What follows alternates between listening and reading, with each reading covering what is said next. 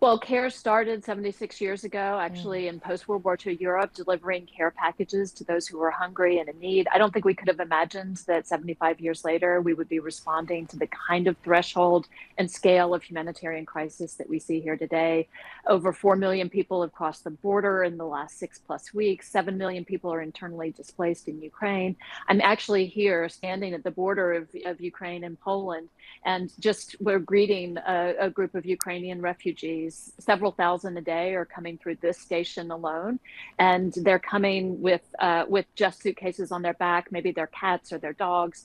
We're providing them through Polish uh, humanitarian action and other organizations that we're partnered with just basics. Uh, we, right behind me, you can see diapers. We have food. We have drink. We have just as as the volunteers told me today, love and peace that we're greeting them with, and then we're helping them and supporting them along their journey, which uh, which is how do they get accommodation? How do they get some cash to get through uh, the next days ahead? How do they have a SIM card? And there are humanitarian actors and amazing uh, support from uh, volunteers here in Poland that are um, they're providing some degree of solace to those who have lost everything. I know the, the people there and in many other countries as well, just incredible in this speed of the response and the support they're providing.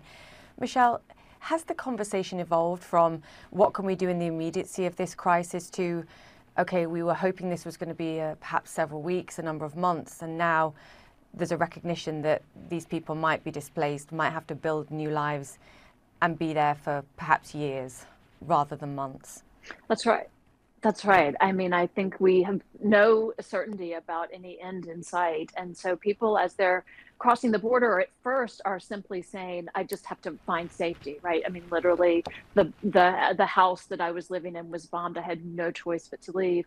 But now they're also trying to think about how am i going to support my family? What kind of job am i going to be able to find? And keep in mind that you're crossing over to other countries where you likely uh, may not speak the language. And uh, and so they're also thinking about how do they educate their children? How do they get their their kids back in school from an interrupted education?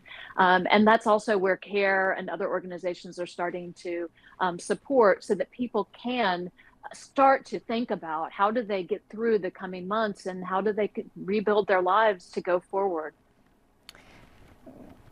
This is why what you're doing in Poland is so important. We had the founder of Chobani on this week, and he said, you know, you, you don't stop being a refugee just because you get somewhere safe you stop being a refugee when you start building a life, when you when you have a job, when your children are being educated. And what you're trying to do in, in Poland is recruit Ukrainian teachers that have been displaced that can perhaps help children who've been traumatized integrate into Polish schools. So it helps the Polish teachers, it helps the Polish children who are now surrounded by other children, but also it helps the grown-ups, the teachers that have lost their jobs in, in Ukraine also get work and start building their lives too.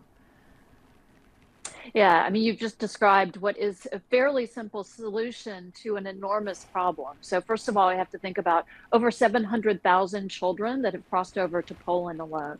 Uh, I was just in Warsaw yesterday and saw and met with administrators. Imagine you're an administrator who's just gotten through COVID and takes a sigh and then uh, have 15,000, and there are 70,000 kids in Warsaw. Only 15,000 of them are back in the school system, but they don't speak uh, Polish. And so we're hiring those refugees that were teachers already, that need a job, that are ready to have some stability, and they're going to be the bridge. They're going to be the support. They're going to help ensure that these kids uh, can get back to a little bit of normalcy by speaking their own language and integrating into the Polish school system. So yeah. that's the kind of work that lies ahead for us.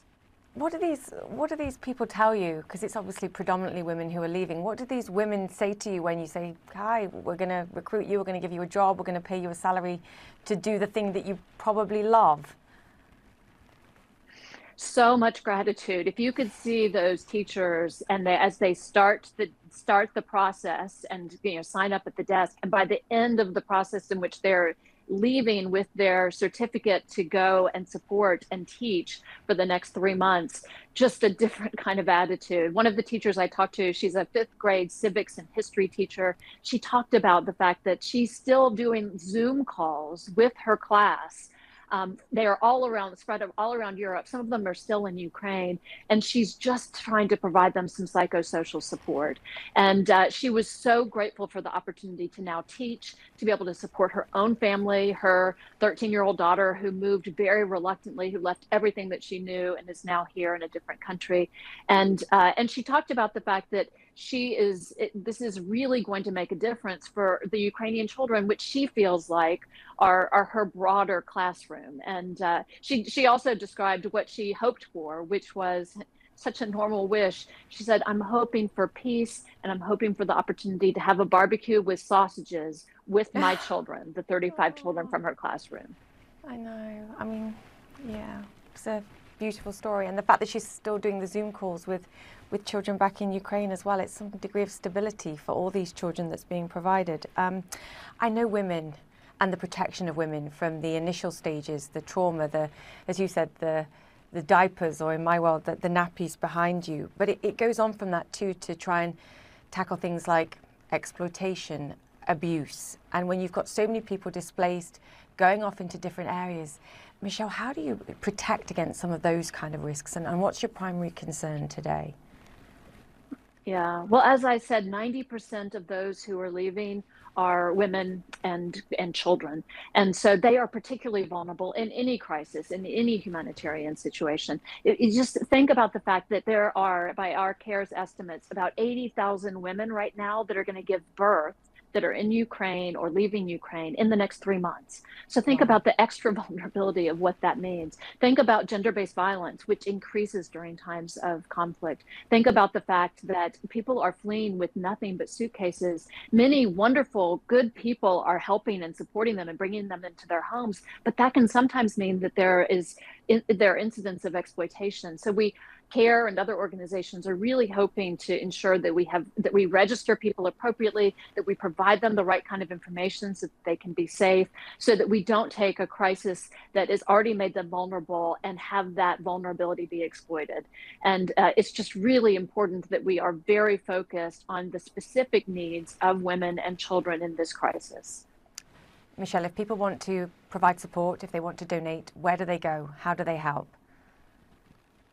yeah, I mean, there are ways of both lifting up your voices and also providing resources. So if you go to care.org, you can learn about what CARE's doing. You can learn about uh, the crisis itself, and you can um, you can stand up and stand in solidarity. It means so much. As I talked to one of the teachers yesterday, who broke down crying, and she told me, "I never knew that people that I never knew would do so much uh, for me," and um, and you can all be a part of that care.org. We'll tweet that out too. Michelle, thank you to you and your team for your work. Great to have you on. Michelle Nunn, President and CEO so of Care USA. Thank you.